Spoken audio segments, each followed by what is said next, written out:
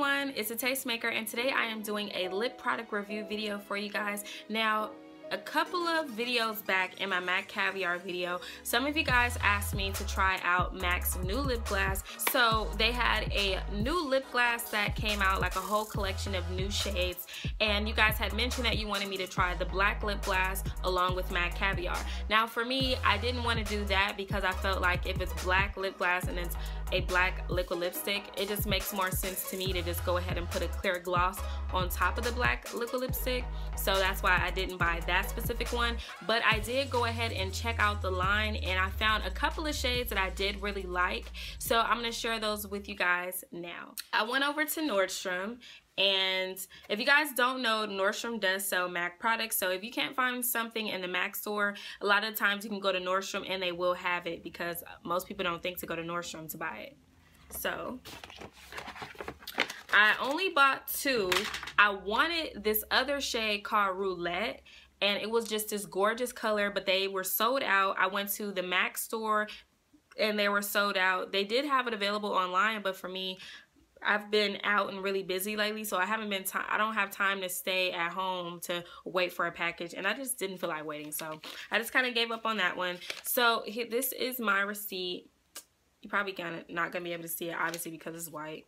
Um, but these retail for $17 a piece. So the first one is called Bittersweet Me and this is what the box looks like. It's just your typical MAC lip gloss box. And then this is the Nordstrom sticker right there. That's why it has these little stickers on it for return. And then the second one is called Spite. This is my absolutely favorite. I haven't tried this one on my lips, but I did swatch it in the store. I've been wearing this one a lot. I couldn't wait for the video. I had to wear it. So because of that, I'm going to try out Bittersweet Me first, but I'm going to take them out of the case. So this is Bittersweet Me. I don't know why it's so difficult for me to say that. This is what it looks like. And then this is the bottom. It just has, you know, the uh, standard silver sticker. And when you open it up, it looks like this. I absolutely love the applicator for this. It's different from your typical like lip gloss applicator, so I love that.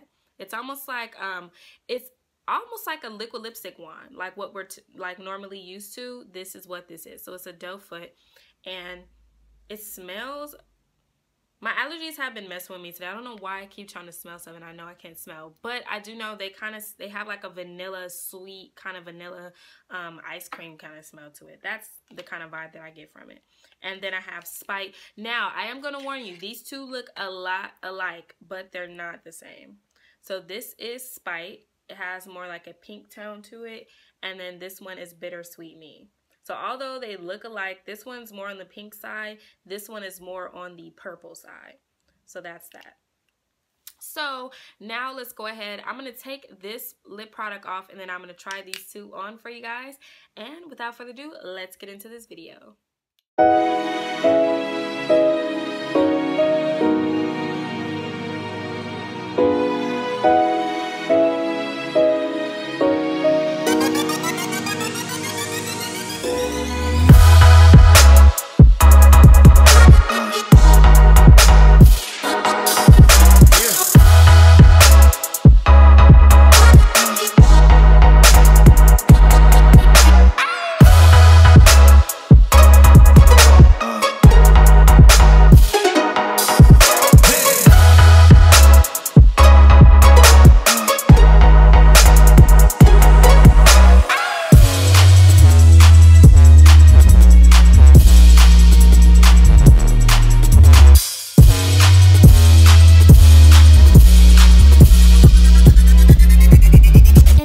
want the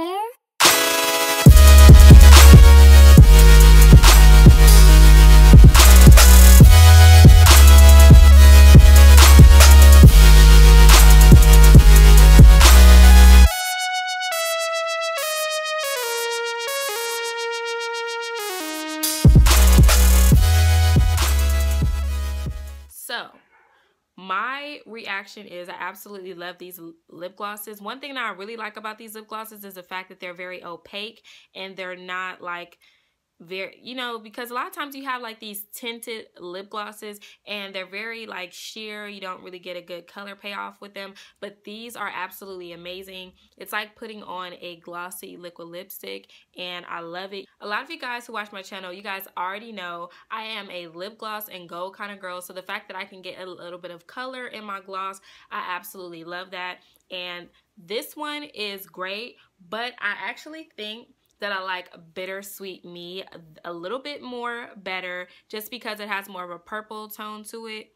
And this is like getting all over my teeth. It's everywhere. But I kind of like this one as far as the shade wise better. But I love both of these. They're absolutely amazing. I would definitely say to check them out. They are $17, but honestly, this is going to last you a long time. And it's great quality lip gloss. And the fact that it's you know moisturizing but it doesn't have that real like sticky feel to it. The only thing that I do need to do which I didn't do is just to get the excess lip gloss off because I did kind of pack it on a little bit. And that prevents you from having it all over your teeth and from having those strings because I hate that. But these are freaking amazing and they smell good. They're thick but I love them. They're so moisturizing they're not like I don't know. It just feels like I have almost like a, a lipstick on, honestly. Love this. So this is Spite and then this one is Bittersweet Me. I would definitely say to go to your local MAC store and check these out. Do a couple of swatches. Try them on in the store and tell me how you guys like them. If you have tried the MAC lip glass products, definitely let me know which ones are your favorites or which ones you have already picked up. And until next time, I'll see you in my next video.